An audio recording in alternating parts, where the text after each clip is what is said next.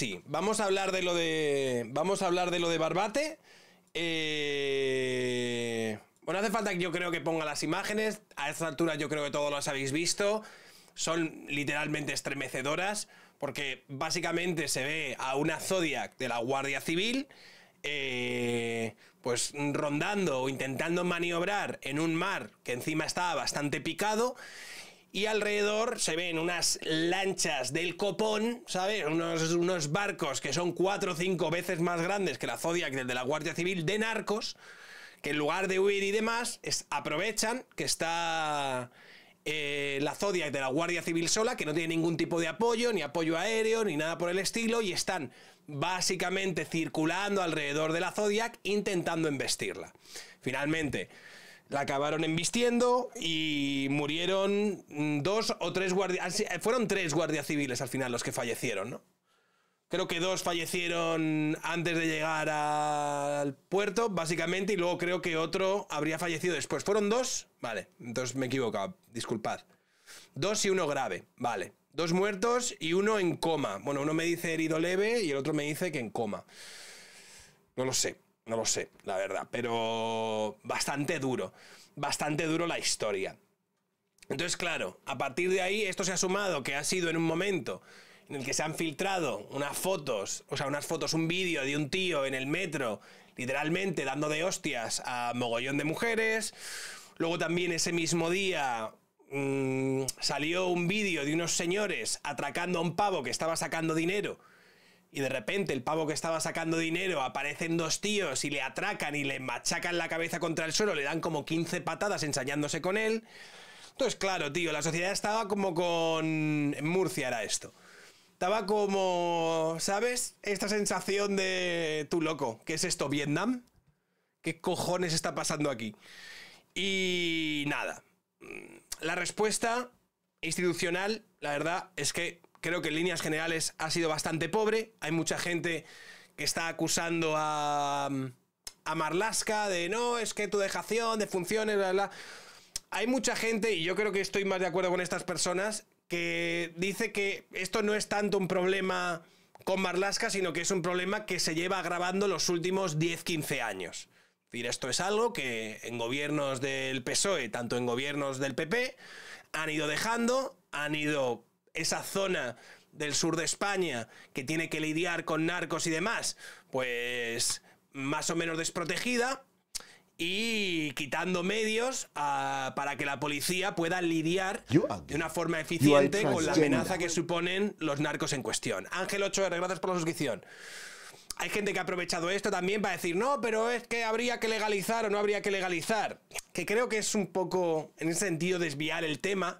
Porque sí, vale, sí, habría que legalizar. Está muy bien. Pero la cuestión ya no es tanto si se legaliza o no se legaliza, mira lo que pasaba con la ley seca o mira lo que dejaba de pasar. Ese yo creo que es otro debate. Yo creo que el tema del que se debería hablar, más allá de, no, es que de fondo, tal, eso por ejemplo lo decía Manuel Llamas, yo creo que el debate de- del que se debería hablar es, ¿tienen la policía y nuestras fuerzas y cuerpos de seguridad del Estado los suficientes medios como para poder combatir el crimen de forma eficiente, ya sea en las calles, ya sea en los puertos contra los narcos o ya sea en todos los puntos de España donde lo necesiten? Ahí es, yo creo, donde está la cuestión. Y hay mucha gente que dice que efectivamente pues es, es un rotundo no. ¿Vale? Vamos a ver algunos vídeos que tenemos por aquí. Esto era bastante... Porque esto daba mal rollo. Porque aquí se ve lo que estaba pasando con las lanchas, pero lo que es realmente estremecedor es ver a la gente que estaba jaleando a los delincuentes. O sea, es gente que en lugar de decir, ostras, tal, como los que habían grabado esto desde otro ángulo, que claramente estaban con la policía y decían, pobrecillos, si es lo que tienen. Estos estaban jaleando a los delincuentes. Entonces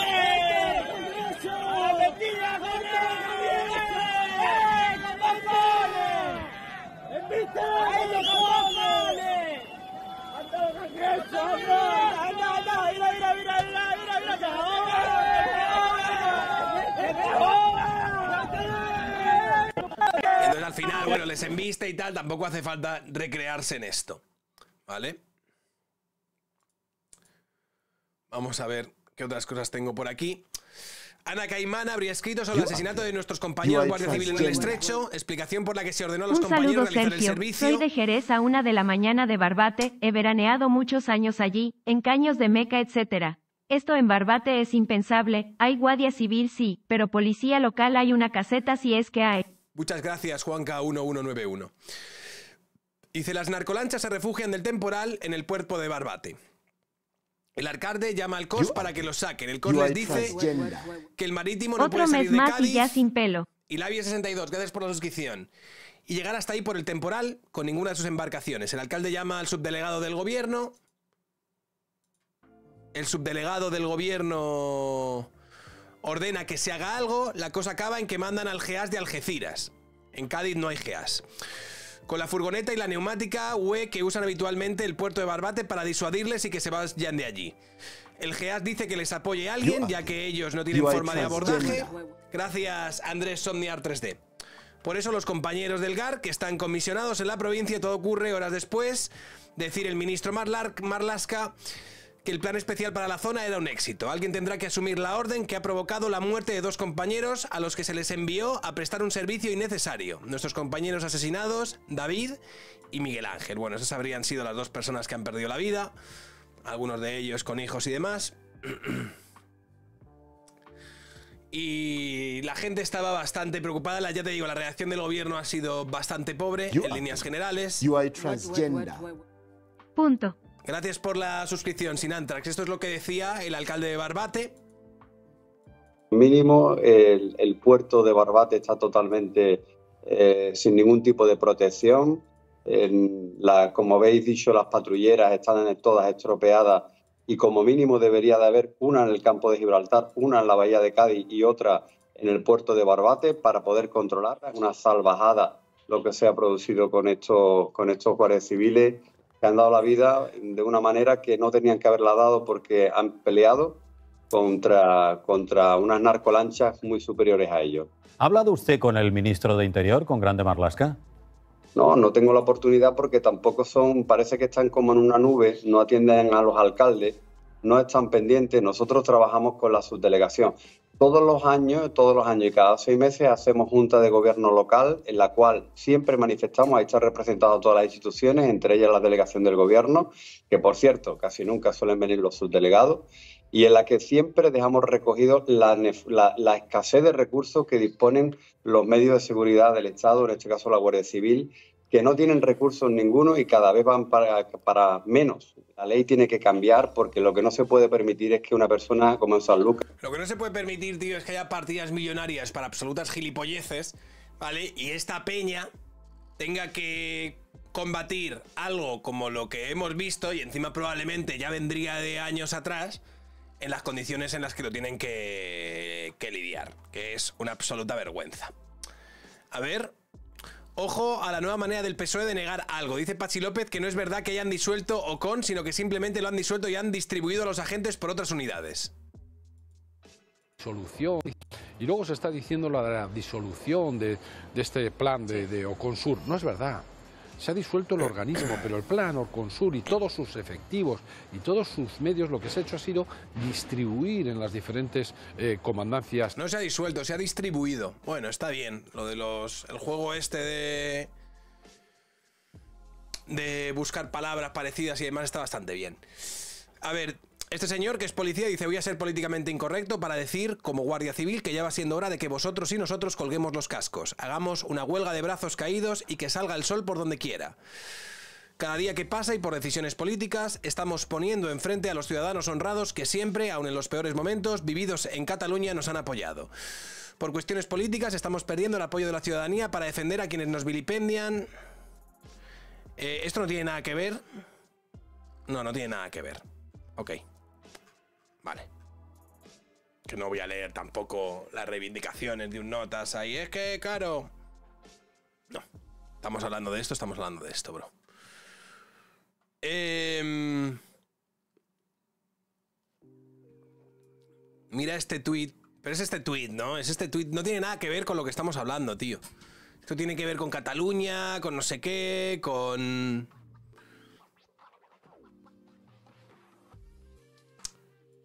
Bien, aquí tengo una serie de noticias alrededor de esto, que dice la Guardia Civil pide desde octubre patrulleras de aluminio contra el narco. Las de fibra no son resistentes. O sea, sí que era algo que venían reclamando la Guardia Civil desde hacía tiempo, por lo menos en esto.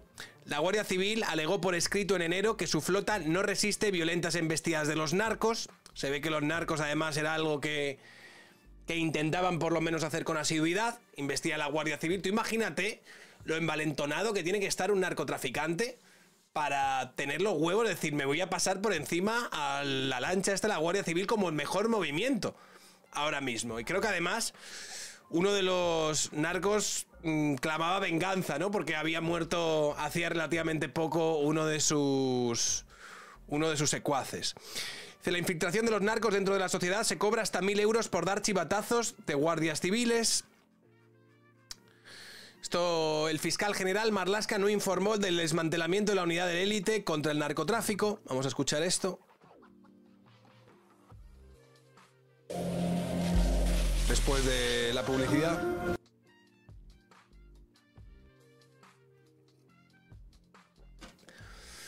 Con una simple autorización para disparar se acaba la tontería. Hombre, yo creo que va un poco más allá, ¿no? Porque aunque puedas disparar a las lanchas, lo más probable es que no les des, crack.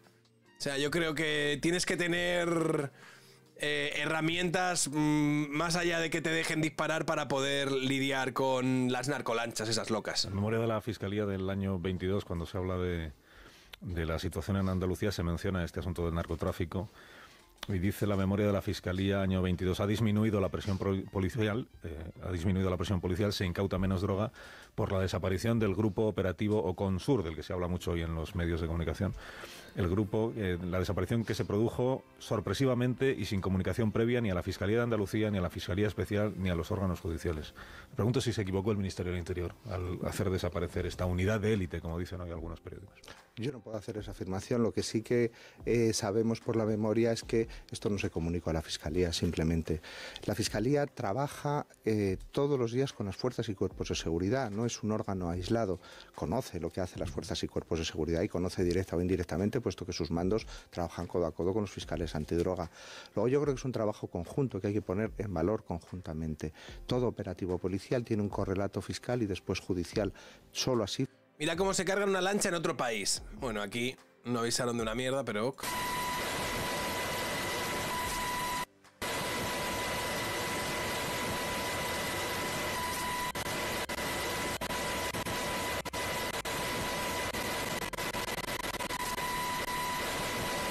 probablemente se para así.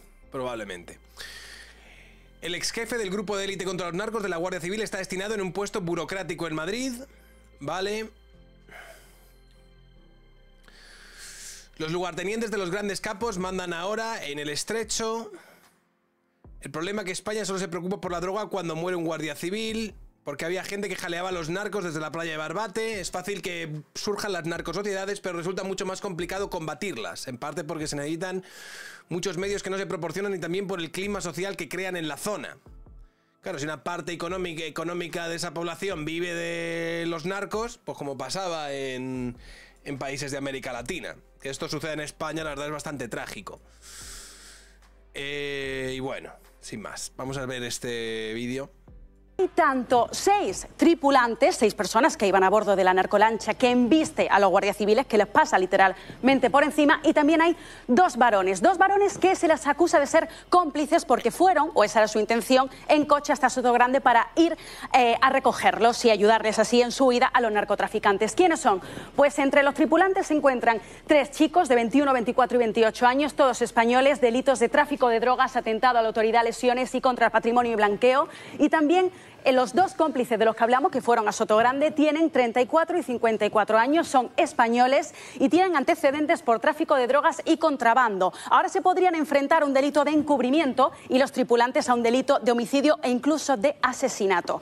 Como decimos, esta es la primera tanda de detenciones, pero luego Horas más tarde, también la Guardia Civil consigue, gracias a que en todo momento con un radar estaban monitorizando y haciendo el seguimiento de por dónde iba esa narcolancha, consiguen darle captura en la alcaidesa a tres personas más. Entre ellos, sobre todo, ponemos especial atención en este individuo, Kiko El Cabra, conocido narcotraficante. Lleva 15 años pilotando narcolanchas. Él era el que iba a bordo de la que mata tanto a Miguel Ángel como a David. 46 años. Tiene antecedentes por resistencia, desobediencia y de capitales. También se detiene a otros dos individuos que no tienen antecedentes, pero sí infracciones, con edades de 35 y 25 años. ¿Y por qué, Toñi, ponemos aquí la palabra venganza? Antes lo decías tú. Porque hace unos días, el 31 de enero, hubo un accidente entre una patrullera en la desembocadura del río Guadalquivir y una narcolancha. Falleció un narco, se llamaba Marcos y era muy amigo de Kiko el Cabra. Hay que decir que fallecieron porque hubo un accidente, es decir, la patrullera de la Guardia Civil se acerca a esta narcolancha pensando que está vacía, pensando que no hay nadie, porque los narcos en ese momento estaban tumbados en el suelo y en el momento en el que los narcos se dan cuenta de que vienen los agentes, rápidamente accionan el motor y eso es lo que hace que colisionen con la patrullera, muriendo uno de ellos. Se de venganza que demostró el viernes en Barbate. Pues ahí lo tenéis.